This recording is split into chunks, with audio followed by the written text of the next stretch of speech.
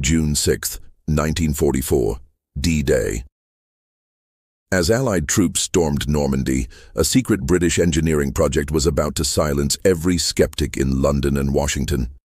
Two years earlier, engineer Major Allan Beckett proposed something insane, building floating harbors so supplies could land without capturing a French port.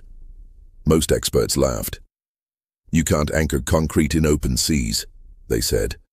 Even Winston Churchill called the idea risky, but he approved it anyway. The project was called Mulberry. Hundreds of concrete caissons, steel roadways and sunken ships were assembled off the English coast. Each section was towed across the channel right after D-Day through rough water and German fire.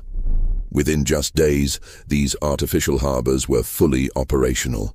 Trucks, tanks, and fuel flowed straight from ships to the beaches. Over 2.5 million men, 500,000 vehicles, and 4 million tons of supplies came through them. What skeptics called impossible became one of history's greatest feats of military engineering.